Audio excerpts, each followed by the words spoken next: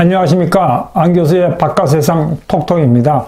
한 해를 보내면서 올해 바깥세상에서 벌어진 핫 이슈들을 한번 정리해 보았습니다. 아, 대강 일곱 가지로 나눌 수 있는 것 같습니다. 아, 미중 패권 전쟁 남중국해에서 미 해군과 중국 해군 간의 어, 갈수록 가열되는 어떤 군사적인 긴장 화웨이 반도체 전쟁 그 다음에 전 세계가 올해 중국으로부터 등을 돌리고 있습니다. 그 엔타이 차이나 아젠다, 반중국 동맹의 형성, 팬데믹, 마지막으로 미중 에스피어나지 전쟁, 스파이 전쟁입니다. 그래서 오늘은 올해 이 같은 핫 이슈들을 한번 종합적으로 정리해보고 내년에 이 이슈들이 어떻게 전개될 것인가에 대해서 한번 이야기를 해보겠습니다. 아, 역사적으로 트럼프 대통령이 백악관에 들어가기 전까지는 아, 미중 무역 전쟁에서 항상 중국이 승리했습니다.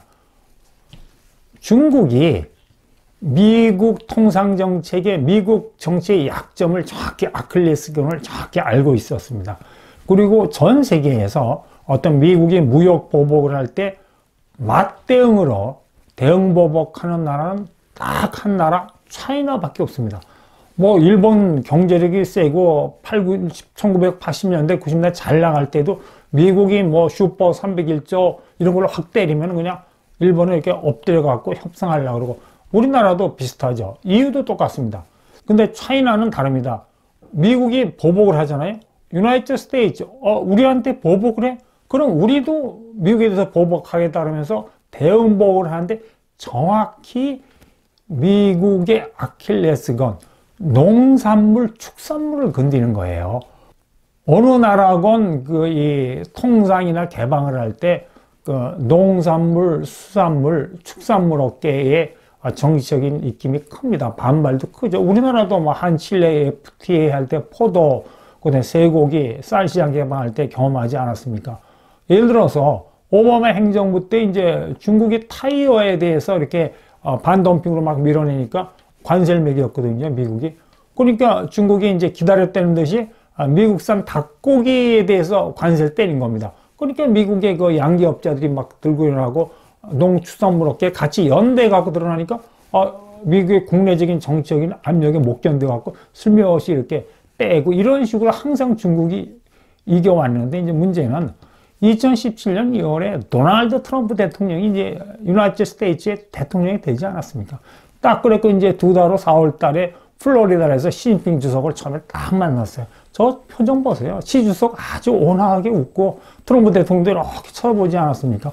거기서 이제 그 미국과 중국 간의 막대한 무역 불균형에 대해서 트럼프 대통령이 이야기하니까 시 주석이 너는 우리, 우리 차이나가 백일 계획을 세워서 어, 양국 간 무역 불균형을 아주 획기적으로 감소시키겠다고 딱 자신있게 얘기했거든요. 근데 1년이 지난 2018년 봄 되니까 양국과 무역 불균형이 줄어들긴커녕 더 확대됐어요. 바로 여기서 트럼프 대통령하고 전임 오바마 대통령하고 차이가 있는 겁니다. 이 시 주석이 2015년에 오바마 대통령을 만났을 때 오바마 대통령이 어, 그 남중국해 그 당신들이 점유하고 있는 섬에 파라셀 군도 같은데 해양 군사기지 만들지 마세요 그랬어요. 그러니까 시주석이 안 맹기겠습니다 하고 약속했거든요.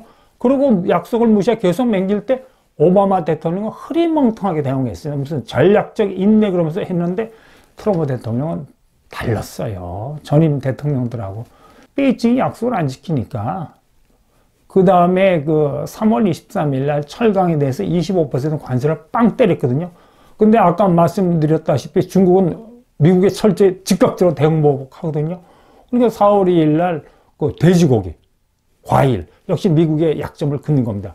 거기에 대해서 25% 관세를 빵 때렸습니다. 항상 미중 간의 관세 갈등이 전형적인 패턴입니다. 어, 이렇게 또 4월 3일 날 트럼프 대통령이 어, 460억 불 상당의 1,300개 한 품목에 대해서 25% 관세를 때렸거든요. 그러니까 요번에는 중국이 더 빠르게 바로 그 다음날 그 이 비슷한 금액의 관, 그 품목에 어, 대해서 관세를 때렸는데 여기 또 미국의 결정적인 약점에 대두를 집어넣습니다. 미국이 엄청나게 많은 콩, 대두를 중국에 수출하거든요. 뭐 대두 재배해 놓은 거 막 들고 이러는 거 난립니다. 중국이 딱 약점을 안 거죠. 근데 베이징이 좀 이상하게 생각한 게 이 정도면 옛날에는 이렇게 워싱턴이 이게 술 칼을 뺀 걸 이렇게 내 칼을 뒤로 칼집에 집어넣거든요. 어 근데 7월 달에 가서 또 360, 345불씩 때리지 또 베이징이 그날 대응 보복하고 8월 23일 날 160억 불 때니까 베이징이 또 그날 대응했습니다. 그런데 이제 결정적인 거는 8월 하순에 트럼프 대통령, 역시 도널드 트럼프 대통령이 대단한 게 2천억 불에 대해서 관세를 막 때렸는데 그것도 6천 개 품목. 그러니까 지금까지 무슨 총 빵빵 쏜 거면 이건 미사일로 확 쏴버린 겁니다. 그러니까 여기서 시진핑 주석이 질려버린 거예요. 그러니까 그 사이에 그 관세가 그러니까 툭툭툭 주고받는 거는 이 두 나라 지도자의 기싸움이거든요. 트럼프 대통령하고 시에서 기싸움 여태까지 기싸움에서 항상 베이징이었는데 딱 베이징 생각하니까 이거 상대가 옛날 상대가 아니거든요.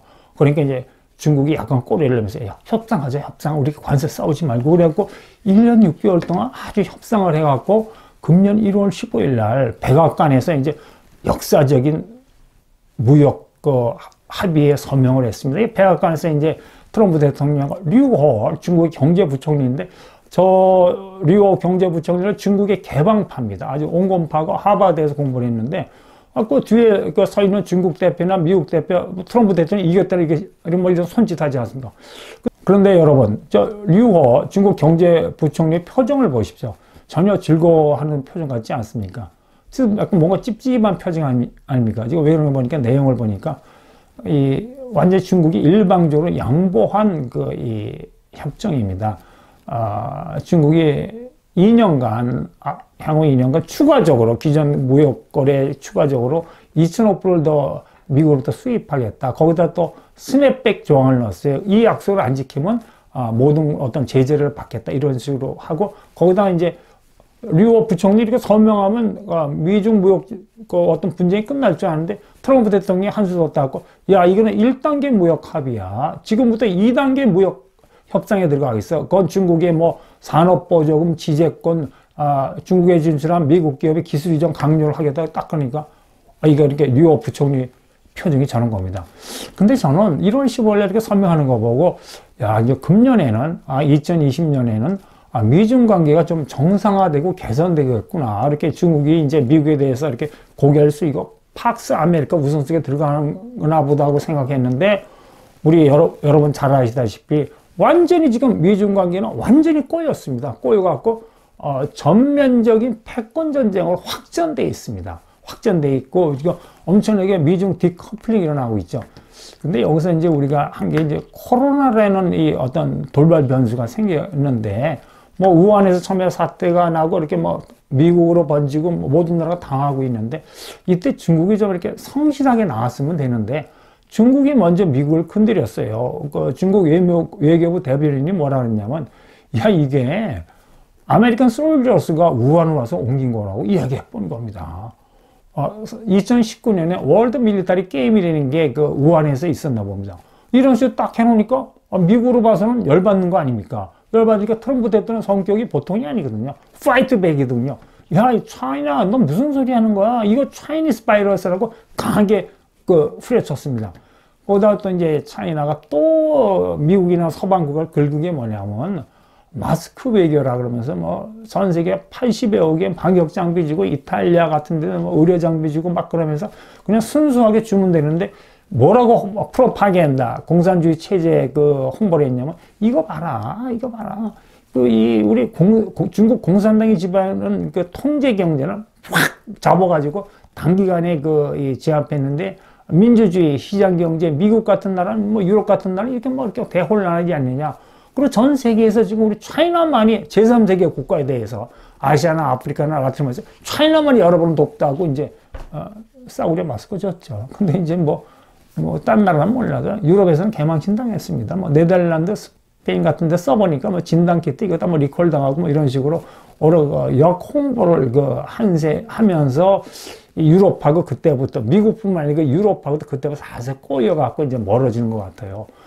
이제 그 다음에 제가 8월 달에 이런 그 방영을 했습니다. 그 미국 정찰기가 뜬 남중국해에 미사일 쏘는 중국, 이제 우발적인 무력 충돌이 임박했다는 내용으로 이제 여러분한테 말씀을 드렸는데, 저 남중국해는 그 영토 분쟁 지역입니다. 필리핀, 베트남이 자기 영토라고 주장하고 국제상설재판소도 어, 저거는 어느 나라 영토도 아니라고 이야기했거든요. 중국 영토가 아니라고 했는데 중국이 뭐 무력으로 점령한 파라셀 군들 이런 데다 서로 서로 해양 기지를 맹일지 않습니까? 그 최근 이 미국 정보 보고에 하면 저기다 항공모함이 기항할 수 있는 군사 그 항구까지 맹일고 있다 그럽니다. 근데 더 이제 미국을 긴장하게 맹 거는 단순히 해양 기지를 맹긴 게 아니고 금년 여름에 거기에 통과한 남중국해 영역 한 90% 영역에 대해서 외국 선박 보고 선박이나 비행기 보고 지나가지 말라 그랬습니다. 야 우리 차이나가 말이야 여기서 실탄 사격 그냥 훈련도 이렇게 어, 공포탄 쏘는 훈련인데 진짜 실탄을 쏘는 사격 훈련을 하겠다. 해상 뭐 바다에 쏠 테니까 외국 배 지나가지 말라 그런 거예요. 그러니까 이제 미국에게 좀 말도 안 되거든요. 저 남중국해 저거 중국의 영토도 아닌데 불법적으로 점령했고 불법적으로 해양 군사 기지 맹밀고 또 거기다가 실탄 사격까지 하면서 외국 배를 통행 못하게 남중국해말로 진짜 모든 나라의 에너지 안보가 걸려있는 중요한 그 바다인데 모든 나라의 바다거든요. 우리나라, 일본, 어, 중동이나 동남아에서 오는 모든 에너지 남중국해 지나요. 중국이 저런 식으로 막아버리면 우리나라 에너지 대란 일어납니다. 그러니까 미국이 항해의 자유를 주장하면서 그냥 옆에 왔다 갔다 하고 그 다음에 이제 그 U-2 spy plane 정찰기가 떴는데 하, 중국이 진짜 이건 겁도 없이 그냥 그 남중국해에 대해서 미사일 두 방을 날렸습니다. 둥펑 미사일 두 방, 저쪽에서 중국 대륙에서 날린 거죠.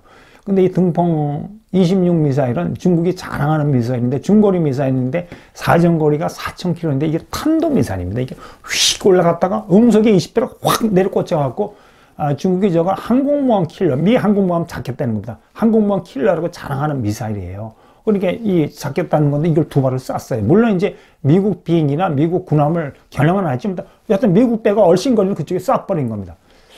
저게 이제 중국이 엄청난 미사일 능력이나 자기가 미사일의 정확도를 전 세계에 보여주고 저게 이건 장난감이 아니야. 전시용 장난감이 아니야. 필요하면 미국에 대해서 쏠 수 있다는 사용, 미사일에 사용하겠다는 의지를 보여주는 게 이게 날수록 점점 금년에 특히 막, 막 가열되는 중국의 이걸 군사모험주의라 그러더라고요. 한 번 붙이는 거예요. 미국하고 한 번 붙이는 건데. 한 번 싸우겠다는 거예요. 남중국에서. 그리고 이제 왜 저렇게 중국이 그 군사모험주의로 미국하고 한번 싸워보자고, 어, 겁 없이 덤벼드냐 하면은, 중국은 역사 교육이 잘못돼 있어요. 그리고 6.25 전쟁이 있지 않습니까? 아, 그거에서 자기들이 이겼다고 생각합니다. 미 제국주의자의 침략에 맞서갖고 인민해방을 이겼다고 생각해요. 그러니까 그 당시 이렇게 어, 무기가 열악했는데도 미국, 미군에 대해서 이겼으니까 지금 이렇게 막, 어, 어, 군대를 현대화시키면 얼마든지 바다에서도 미 해군하고 싸워서 이길 수 있다고 자신만만한데 제가, 제가 보기에는 오판하고 있는 거죠. 국제관계 전문가들은 이렇게 이야기합니다. 구냉전 시대에 소련도 저렇게 직접적으로 미군과 군사적인 대치하는 걸 극도로 피했다 그럽니다. 소련도. 한국으로는 위대한 중화제국은 저렇게 자신만만하게 어, 미국하고 한 번 붙자고 나서고 있습니다. 근데 이제 이게 바로 국제 문제 전문가들이 우려하는 점입니다. 딱 한마디로 하면 miscalculation에 의한 우발적 무력 충돌 가능성이 크다는 거예요. 그러니까 어떤 중국군이나 미군이 오판을 해갖고 어떻게 잘못해갖고 우발적으로 무력 충돌이 남중국에서 일어납니다. 아, 유명한 미국 랜드 연구소의 그로스만, 그 다음에 이제 런던 킹스 칼리지의 전쟁 연구 학부의 유명한 프리드맨 교수가 전쟁의 미래라는 책을 썼는데, 어, 거기서도 이제 이 남중국해에서 이렇게 이 miscalculation의 오판에 의한 우발적인 무력 충동, 충돌 가능성이 크다. 그 다음에 그 제드 베비는 어, Deputy Under Secretary of Defense인데 이런 그 이야기를 했습니다. 자기가 쓴 책에서 중국은 미국을 타격할 능력을 갖추면 언제든지 미국을 공격할 것이다. 이런 식 국제 전문가들도 이제 미중 간의 군사적인 충돌에 대해서 그 굉장히 그 걱정을 하고 있죠. 근데 이제 이 같은 우려를 입증을 하듯이 인민해방군이 근대화 계획을 세웠는데 지난 7년간 해군력을 엄청나게 증강시켰습니다. 200척 이상의 군함을 맹길었어요. 그리고 2049년까지 해군력을 350척으로 늘리겠답니다.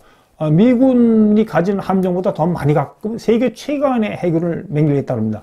그러니까 이제 금년에 발표된 미 국방 백서에서도 아, 중국은 이렇게 해군력을 확장할 기술적인 능력이 있고 통풍 미사일 뭐 맹기는 보십시오. 그다음에 야심도 있기 때문에 아, 미국의 안보를 심각하게 위협한다. 어, 랴오닝 그 항공모함은 이렇게 구 소련에서 이제 갔다가 이렇게 한 거지만 산둥함은 이거는 made in China거든요. 그리고 이번에 이거 대만 해역 이렇게 막 운행하고 막 그랬습니다. 거기는 스텔스 함재기 40기를 싣습니다.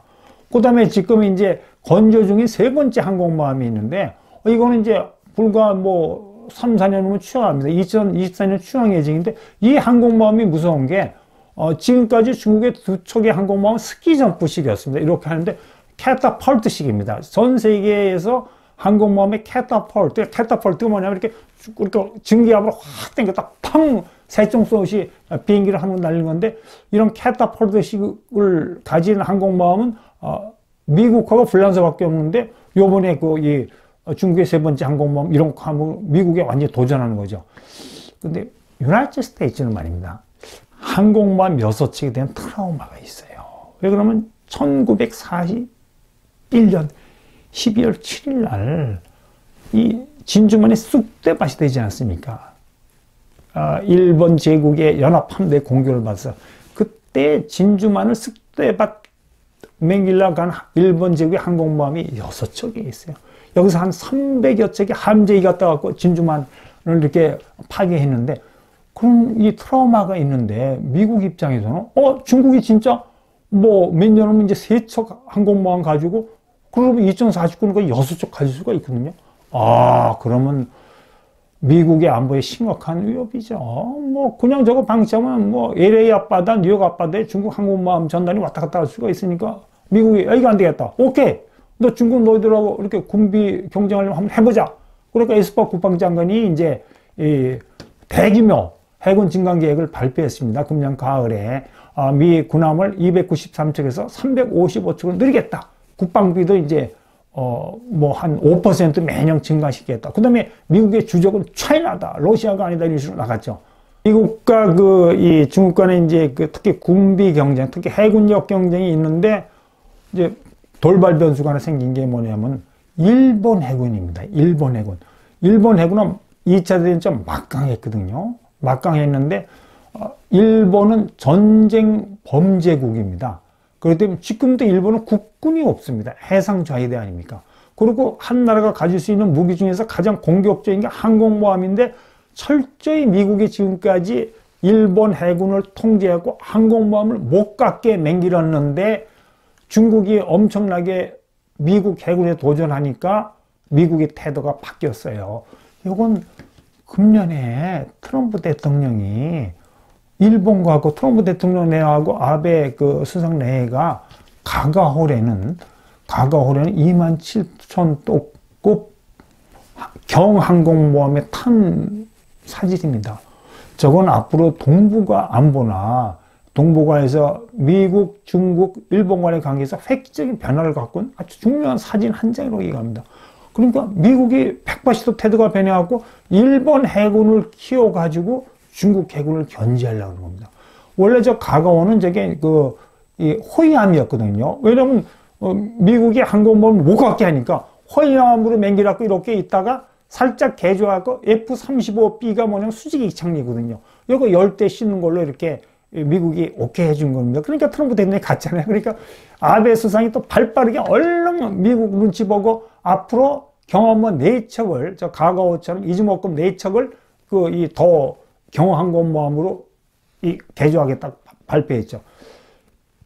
일본, 아까 말씀한 일본은 해군력에서 상당한 저력을 잠재를 갖고 있는 나라인데 일본이 저런 식의 경항공모함 4척 갖고 거기서 최신의 스텔스 전투기 10척씩 실으면은 이제 미국, 중국, 일본뿐만이 아니고 우리나라 해상 안보에도 어떤 영향을 미칠지 이것도 우리가 한번 아, 내년에 같이 생각해 봐야 될 과제라고 생각합니다. 9월달에 이런 방영을 했습니다. 아, 미국의 함정에 빠진 중국의 해양 굴기 잘못하면 중국 해군도 과거 일본 해군처럼 몰락할 수 있다. 자, 미국 어떻게 하면 중국 항공모함 지금 막, 막, 세척 갖고 여섯 척까지 갖겠다는 거 아닙니까? 저거 이제 바다 위에 고철로 맹길까? 그게 무슨 뜻이냐면은 미국 입장에서는 저 중국 항공모함 그냥 미사일 쏘고 함재기로 갈아할 필요 없이 경제적으로 그냥 쓸모없이 맹기는 겁니다. 여기에 대해서 제가 이제 말씀드리고 있는데 이 해군은 말입니다. 특히 항공모함 전단은 돈 먹는 함합니다. 엄청나게 많이 돈, 항공모함 한척 있는 게 이렇게 산둥함 한척 있으면 거기에 이지스 구축함 붙어야죠. 그다음 엄청난 미사일 탑재해야죠. 잠수함 붙어야죠. 함재기 엄청나게 돈이 많이 들어요.